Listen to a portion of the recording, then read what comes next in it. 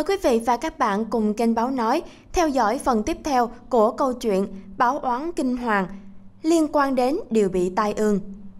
Sau khi anh Trần Văn Úc đột tử tại nhà thì trụ cột gia đình chỉ còn mỗi bà Phạm Thị Tâm và anh Trần Văn Việt là con trai duy nhất còn sống của vợ chồng ông Rạng. Khi đó, bà Tâm đã 77 tuổi, là mẹ nuôi của ông Rạng. Còn anh Việt thì chưa có vợ con gì cả. Gia đình sợ hãi nên sơ tán hết cháu chắc, không cho ai về nữa. Những người con gái của ông Rạng cũng ở hết bên nhà chồng hoặc di chuyển đi nơi khác. Chị Vũ Thị Nhung là vợ của anh Úc về nhà bố mẹ đẻ ở xã Vũ Đông. Còn vợ anh Viết thì đưa cậu con trai duy nhất trốn vào miền Nam trong một đêm mưa gió. Sợ hãi cảnh tượng chết chóc nên nhiều gia đình ở xóm chính Vũ Tây Kiến Sương tỉnh Thái Bình đã bỏ hoang nhà cửa trốn đi nơi khác. Năm hộ dân ở cạnh nhà ông Rạng đã dọn đồ hết đi, khóa cửa để đó. Phải thời gian khá dài sau, tình hình yên ổn không xảy ra chết chóc nữa, họ mới tìm về. Đại gia đình họ Trần hợp lại, bàn bạc và thống nhất, nhờ hai người làm trụ cột, qua lại giúp đỡ gia đình, gồm ông Nguyễn Văn Thung là anh vợ của ông Rạng và ông Trần Văn Lưu là chú ruột của ông Rạng. Ông Thung là người ngoài họ Trần nên không sợ bị thánh vật, còn ông Lưu thì tuyên bố Tôi cũng đã ngoài 70, chết cũng được rồi, nếu thánh thần có vật tôi, tôi cũng chẳng có gì phải hối tiếc. Ban ngày, ông Thung làm việc ở nhà, tối sang nhà ông Rạng ở cùng với ông Lưu. Nhà ông Lưu thì ở ngay sau nhà của ông Rạng. Ông Thung kể, tôi khỏe vía, nhưng thú thực trải qua từng ấy chuyện nên cũng hãi lắm. Tôi thường ăn cơm từ lúc 5 giờ chiều rồi 6 giờ qua nhà cô Đào. Đi lúc đó trời còn sáng cũng đỡ hải. Trong suốt những ngày ở nhà ông Rạng, Vật bất ly thân với ông Thung chính là con dao phất năng dài quá nửa mét, vô cùng sắc bén, chỉ liếc dọc ống chân, lông rụng tơi tả. Lúc đi đường, ông kẹp dao vào nách, đêm ngủ thì ông gói dao trên đầu.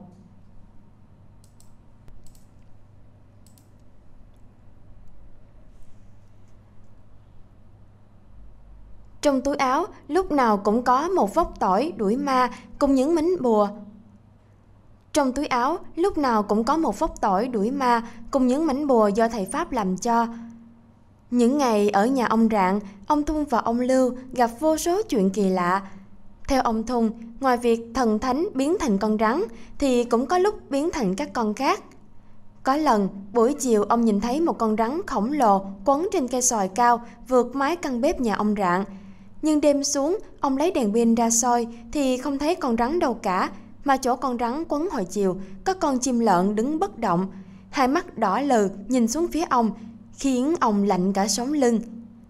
Rắn to hay chim lợn thì cũng nhiều người gặp, nhưng con chuột khổng lồ còn to hơn cả con mèo, nặng ít nhất 3 kg và có hành vi kỳ quái thì quả thật ông Thung không giải thích nổi. Ở đất Thái Bình có hai loài chuột rất lớn là chuột cống có màu xám hay bắt gà vịt ăn chứ không phải là chuột sống trong cống ở thành phố và chuột đất. Người dân vẫn hay bắt hai loài chuột này làm thịt. Tuy nhiên, chúng chỉ nặng không quá 1 kg, còn chuột to hơn cả con mèo, nặng chừng 3 kg thì chưa ai từng thấy. Đúng hôm, anh nông dân hiển linh thần thánh từ Bình Phước ra cúng, bị trưởng thôn đuổi đi thì chuột khổng lồ xuất hiện.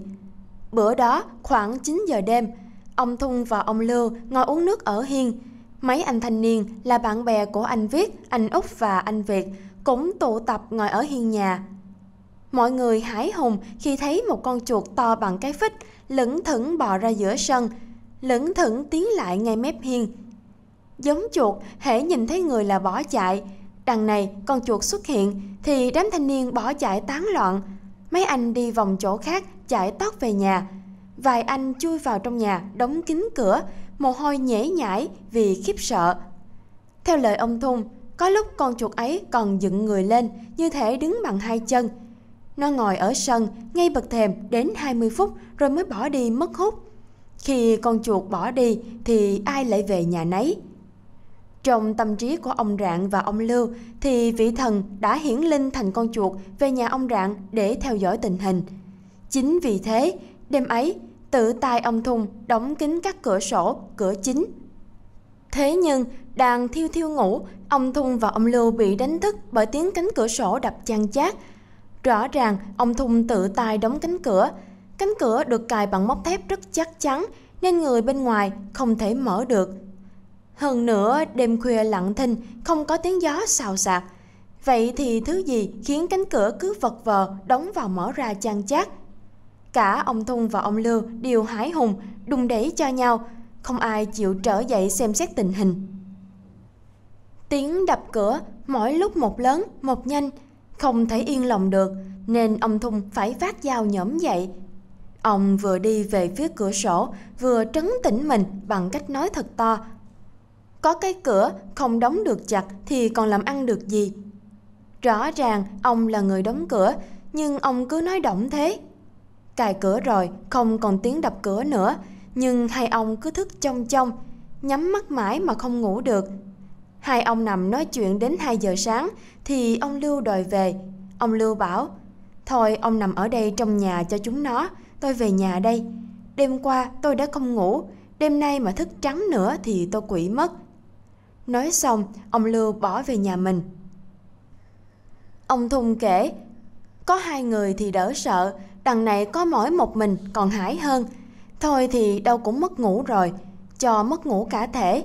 Nhà có bóng điện nào tôi bật lên hết. Sau đêm hôm đó, tôi cứ bật điện sáng trưng, muốn hết bao nhiêu điện thì thay kệ nhà nó. Tắt điện thì sợ không ngủ được, còn điện sáng thì mình cũng chả ngủ được.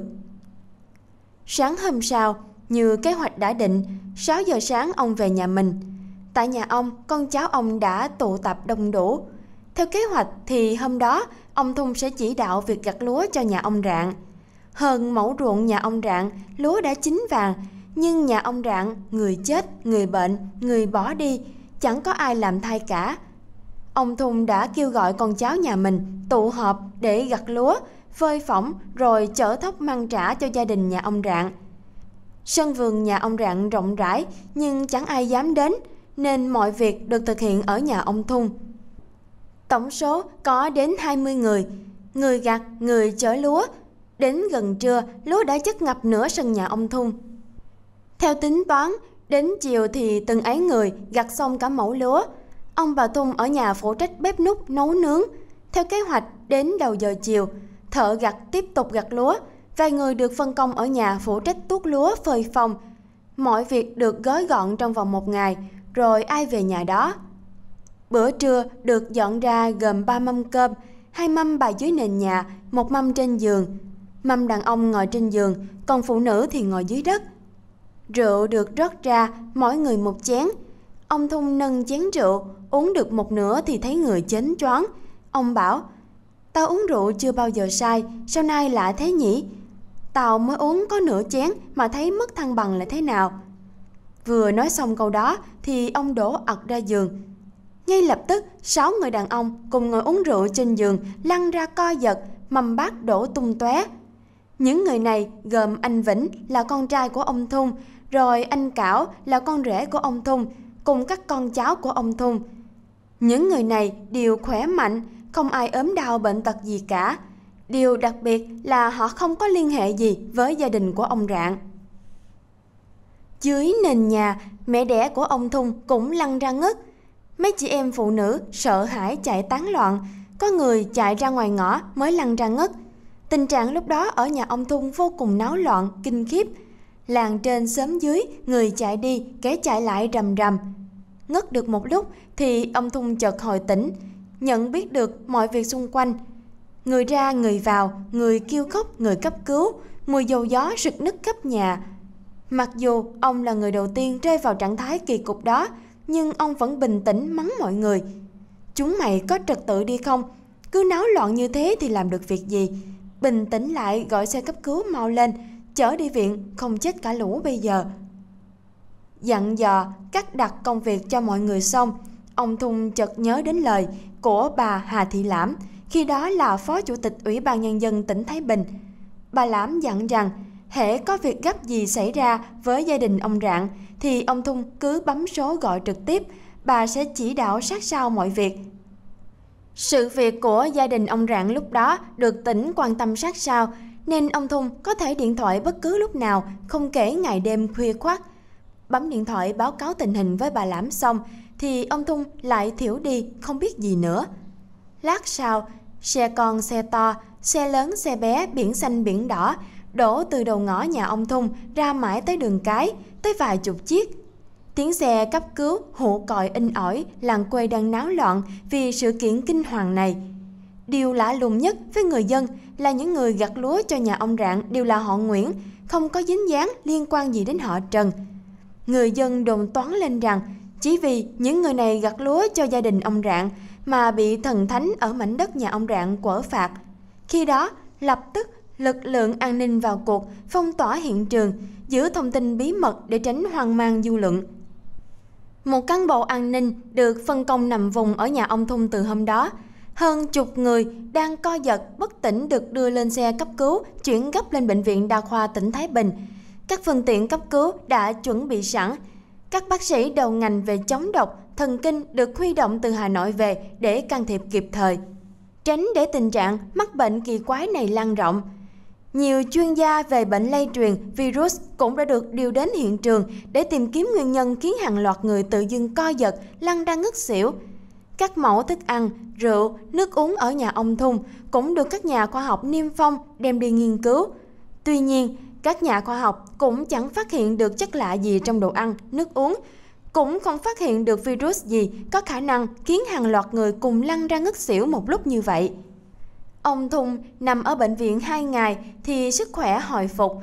Bác sĩ giữ lại để theo dõi, nhưng ông thấy sốt ruột nên nhất định đòi về. Đám con cháu của ông, những người gặt lúa giúp gia đình ông Rạng, người nhanh thì hai ngày sau xuất viện, còn lại đều nằm viện tới một tuần mới được về. Đám con cháu ông Thung sợ hãi chuyện này quá, nên đi hết chùa này chùa nọ, miếu kia thờ cúng, xin xỏ thần linh đừng vì chuyện gặt hộ cho nhà ông Rạng mà quở phạt. Ông Thung phải quát nạt sai khiến đám con cháu còn khỏe mạnh mới gặt nốt được đám ruộng lúa và xử lý đống thóc giúp nhà ông Rạng. Nếu không có sự nhiệt tình, cứng vía của ông Thung thì cả mẫu lúa chín vàng nhà ông Rạng cứ vứt đi cũng chẳng ai dám động vào. Cho đến mãi về sau này, họ hàng, người thân, làng xóm còn hải hùng mảnh đất nhà ông Rạng đến nỗi bất cứ thứ gì thuộc về nhà ông Rạng đều không ai dám động vào. Cây xoài cổ thụ đến mùa hè, quả dài triệu trái cũng chẳng ai dám hái. Những quả trứng gà mọng vàng trên cây tự rụng xuống đất tỏa mùi thâm lừng cũng không ai dám hái ăn. Hòa trái trong vườn nhà ông Rạng cứ tự đơm, tự rụng, chẳng ai dám mặn đến.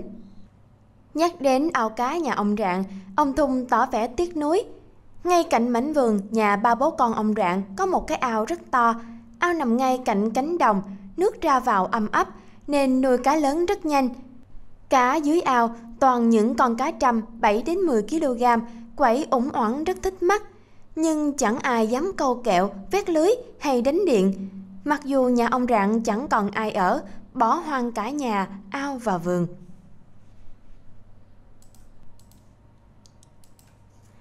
Theo lời ông Thung, nghe chuyện ông kể về ao cá toàn cá to, anh làm rễ họ Trần ở xóm chính, thích quá liền bảo. Cá to thế mà không ai bắt thì phí lắm, bố để con xuống ao kiếm ít cơm gạo. Nói rồi, anh này thuê người đi đánh lưới. Tuy nhiên, nhắc đến ao cá nhà ông Rạng, mấy anh đánh lưới thuê đều từ chối. Không nhờ được ai, anh này tự mượn lưới vét chở đến bờ ao. Anh gọi ông Thung, nhưng ông chỉ ra xem không dám lội xuống ao. Không còn cách nào khác, anh này đành cột một đầu lưới rồi tự mình cầm một đầu kéo vòng quanh ao. Mẻ lưới thu được vô số cá, anh này chỉ tóm vài con trắm cỏ, toàn 7-8 kg một con, còn lại thả ra cho cá ra hết, để lần sau còn đánh bắt tiếp. Anh trút cá vào bao vác ra chợ bán, còn ế hai con thì anh đem về ăn. Chuyện anh này đánh cá xảy ra sau khi nhà ông Rạng bỏ hoang được 3 năm. Vài hôm sau buổi đánh cá, anh này lăn ra chết đột ngột. Theo ông Thung, anh này hoàn toàn khỏe mạnh, béo tốt, không có tiền sử bệnh tật gì cả. Cái chết của anh này chỉ là ngẫu nhiên trùng khớp vào thời điểm đánh cá, nhưng cũng khiến cả làng kinh hãi, đồn thổi rất hải hùng. Từ đó, không ai dám động vào ao cá nhà ông Rạng nữa. Ông Thung thì cho rằng sau khi đại gia đình ông Rạng, người chết chóc, người bỏ đi, khu đất nhà ông Rạng đã thuộc sự quản lý của các vị thần. Do đó, nếu ai lấy thứ gì phải xin phép đàng hoàng mới được. Mặc dù nghĩ như vậy, nhưng ông cũng chẳng dám tơ hào bất cứ thứ gì ở mảnh đất thánh thần đang ngự ấy. Quay lại chuyện gia đình ông Thung, có nhiều người ngất xỉu. Sau khi ra viện, dù đêm xuống nhưng ông Thung vẫn ngay lập tức chạy đến nhà ông thầy Mơ. Gặp ông Mơ, ông Thung bảo Tình hình nghiêm trọng quá rồi thầy ơi, gia đình tôi mà không cúng bái tử tế thì phen này chết cả đống. Ông thầy Mơ bảo thần thánh quở phạt gia đình ông Rạng, chứ nhà ông có liên quan gì đâu. Ông cứ yên trí mà về, sớm mai tôi sẽ xuống, làm lễ cho tai qua nạn khỏi. Sáng hôm sau, ông thầy mơ xuống làm lễ. Khi đó, đại gia đình ông Thung có 6 người đang nằm viện, sống chết thì chưa biết thế nào, nên rất lo sợ. Ông thầy mơ lập đàn cúng bái ở giữa sân, rồi trong nhà ông Thung. Làm lễ xong, ông mơ tiếp tục sang nhà ông Rạng cúng bái tiếp. Hôm đó cũng có mấy nhà tâm linh đang làm lễ ở ngôi miếu nhà ông Rạng. Cúng xong, ông thầy mơ này cùng một số nhà tâm linh có mặt đề nghị gia đình ông Rạng xây lại ngôi miếu, chứ ngôi miếu xây ở bờ ao không hợp phong thủy, không đúng ý thần linh. Đích thân ông Mơ cùng mấy thầy Pháp tiếp tục chọn đất. Có người còn chấp tay nói chuyện với thinh không, nhưng xong việc rồi họ tiết lộ rằng họ vừa thỉnh thần linh thổ địa lên tiếp kiến. Cuối cùng, mấy ông thầy Pháp cùng thống nhất xây ngôi miếu ở sát bức tường đối diện ngôi nhà mái bằng đang xây gian dở của nhà anh Trần Văn Úc. Ngôi miếu này được xây giống hệt ngôi miếu đã phá, cách nền ngôi miếu đã phá khoảng 5 mét. Mặt tiền miếu quay thẳng vào nhà anh Úc. Không gian giữa ngôi miếu và ngôi nhà là cái sân rộng rãi, sạch sẽ. Các nhà tâm linh đều khẳng định nếu xây lại ngôi miếu thì đại gia đình ông Rạng sẽ tai qua nạn khỏi. Nếu không, thần thánh sẽ tiếp tục bắt người trong gia đình ông Rạng để trừng phạt. Lúc đó, không ai dám nghi ngờ lời phán của các thầy Pháp Thế là vài hôm sau, thợ xây được gọi đến và ngôi miếu mới đã hiện diện trong sân nhà anh Trần Văn Úc. Vậy là phá một ngôi miếu, nhà ông Rạng phải đền đến hai ngôi.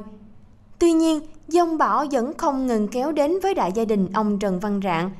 Chỉ đến khi bà Nguyễn Thị Tâm là mẹ của ông Rạng, người cuối cùng còn sống ở mảnh đất dữ này, về với tổ tiên thì mọi oan trái cuộc đời mới chấm dứt. Diễn biến vừa rồi cũng đã khép lại phần 6 của câu chuyện báo oán kinh hoàng. Mời quý vị và các bạn cùng theo dõi kỳ cuối của câu chuyện này trên kênh Báo Nói vào kỳ sau.